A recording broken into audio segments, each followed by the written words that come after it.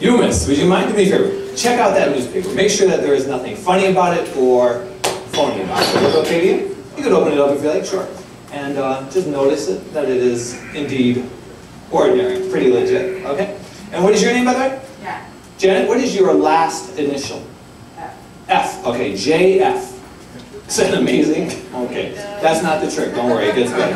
Now I give you the opportunity to look at the newspaper, but I want to give everyone the chance to look at the newspaper, to notice something about, to remember something about the newspaper that you see. So remember a picture, or an ad, or a headline, something about the newspaper that you see that will make you say, yes, that really is the same single sheet of newspaper throughout the entire illusion. Because there's no possible way that they could have printed more than one of these particular sheets of newspaper. JF. And where are you guys from, by the way? New Jersey. Welcome. What part? South. South Jersey. All right. JF. That's what I wanted your initials for, to write them on the newspaper so that you'll be able to know that this really is the very same sheet of newspaper throughout the entire illusion. Okay? I'm going to do this very slowly because I want you to see there is nothing funny about it or phony about it. All I do is what you see. I begin by tearing the newspaper. Now this is the illusion because I'm not really tearing the newspaper.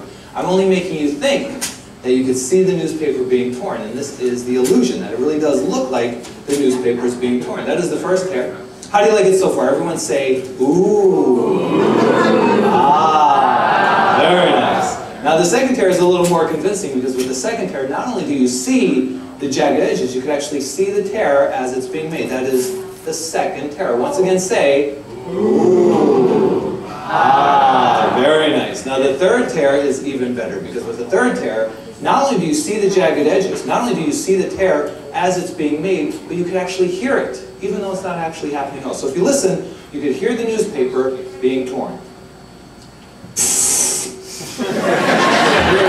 torn, even though it's not actually being torn, it's only an illusion.